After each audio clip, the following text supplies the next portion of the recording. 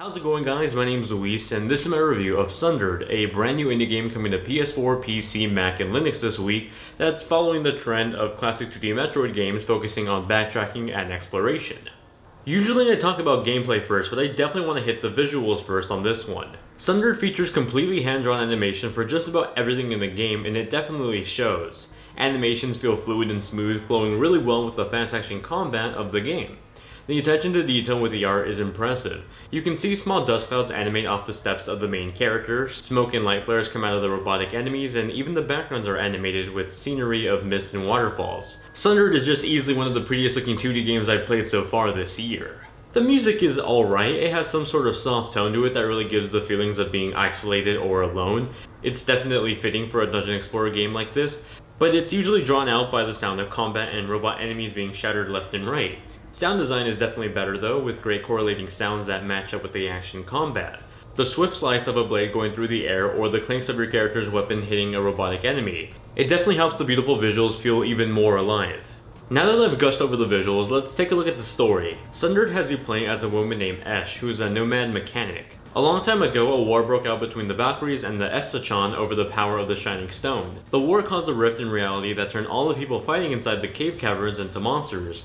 Years later, our protagonist finds herself in these caverns and meets the famous Shining Stone. As you explore the caverns and fight off monsters, you decide whether you want to embrace the dark powers found in the caverns or resist. Now most of the story is told via text dialogue or visual cues, but the really cool interesting thing is that there's multiple endings that allow something like Infamous Second Son or Shadow the Hedgehog where the moral choices you make in the story actually influence the ending you get. I've already said that this game feels very much like Metroid and that's because it follows a non-linear path that focuses on backtracking and exploration. When you start the game, you appear in front of a sanctuary. Think of this like a skill tree. You can upgrade your stats here using energy that you collect throughout the game. You can also attach perks that you find in the game. They'll usually give you an advantage and a disadvantage. For example, increasing your damage amount, but also decreasing the amount of health you heal when you use a health elixir. The upgrade system is easily understandable and you can quickly tell where each of the upgrade branches leads you to as you invest more energy into each part. You can see how some of these upgrades affect your stats at the very bottom of the screen. This is where you'll find meters that represent things like your regenerating shield, your main health, elixirs, and energy. You'll see more abilities be added to the meter as you unlock new abilities over time. At the very beginning of the game, you'll be dropped into a cavern that consists of three main sections or three main dungeons if you will. Each section or region consists of both randomly generated rooms and pre-crafted rooms. The pre-crafted rooms are labeled with icons and you can see what those icons mean by pulling up the map and the legend. Usually they can mean anything from containing a mini-boss to containing a shrine that'll have a new power. This is also where you can sort of see the layout for each of the regions, or at least get a feel for where objects will be.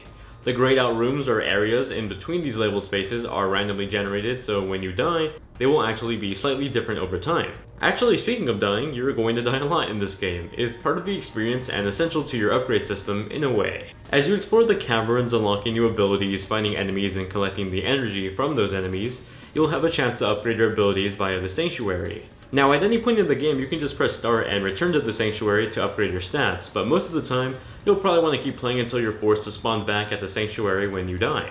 These are the perfect times to reinvest all that energy you've collected to upgrade your character's armor, health, or damage. So basically, you're going to want to keep on playing, grinding, and dying to further upgrade your character, making them much stronger, and making your playthrough easier in the process. The process of completing a region is pretty self-explanatory. It's focused on exploring, you explore different regions and you slowly get stronger as you upgrade your stats and more importantly, find shrines that give you new powers. Using these powers, you can progress further down into the caverns and explore parts previously inaccessible without your new powers. Keep on exploring and you'll find mini bosses and eventually the final boss for that region. Over the about 16 hour journey, you'll experience a total of 4 sections, one of which is unlocked after you beat the first 3. The 3 main sections give you 3 abilities each that give you powers that are completely different from each other. Each region has their own main boss as well, and that'll give you a run for your money when it comes to the chaotic dodging and fighting scheme. In fact, each boss has their own little scheme or ritual to them that you'll have to learn to take advantage of in order to defeat them. Now I already gushed how great the game looks, but these bosses are really, really good. I just don't want to show them to you to refrain from spoiling the game for you guys. I genuinely really like Sundered. I thought it was engaging, beautiful, and even challenging at times without being frustrating. However, it has some bugs to it. Actually, it has quite a few. Something I noticed more frequently in the game were slight stutters when entering new sections for the first time, or on more rare occasions, sections I had been to already. It seemed like the game was still trying to load randomly generated areas while I was about to enter them, causing a slight loading pause. Speaking of loading, when you load a save fresh from the main menu, you'll hit a pretty lengthy load screen, at times almost hitting one minute. That really does suck, but luckily it only happens when you start a fresh load of a save, so basically when you first launch a game, but if you're entering rest mode on your PS4 and just continuing on your save, then you're pretty much good and you're maybe not to ever see it. The one weird problem I had though is that the game was crashing a few times at my first few hours, at least three times in the first four hours of my playthrough. It seems to only happen when I die and respawn. The game didn't crash every time I respawned, but I noticed that it only happened when I died. Sundered has been good about saving my progress when that happens, but it sucks to have to go through the whole minute long loading screen all over again just because I have to do a fresh load of my save. Sundered is a lot of fun and it's entertaining, but it still has some rough edges to it that definitely need some polishing. There were even a few times I noticed a bit of a frame rate drop or slowdown when a ton of enemies were on screen at once. I mean tons of enemies flying in the air while others were shooting lasers at me. I didn't get a chance to play the PC version where the hardware may be a bit more tolerable, but on my PS4 Pro that was my experience. I normally don't find myself having a lot of patience to play these Metroid-style exploration games, but Sundered kept me locked in despite the handful of tech issues I experienced with it. But like I mentioned before, fair warning, this game seems pretty buggy at times, and while I hope the developer is able to fix what seems like simple tech issues in the future, I can't really guarantee it, and so I wanted to mention it. That's my review for Sundered on PS4, PC, Mac, and Linux. If I missed your question in the review, feel free to ask it in the comment section down below, or just hit me up on Twitter and Instagram and I'll do my best to respond to your question. If you enjoyed the content and the review, why not give it a like, subscribe for more content just like this, and share with your friends. It helps my channel grow, and I really do appreciate it. As always, thank you all very much for watching. Hope you guys have a great day, and I'll see you all in the next one.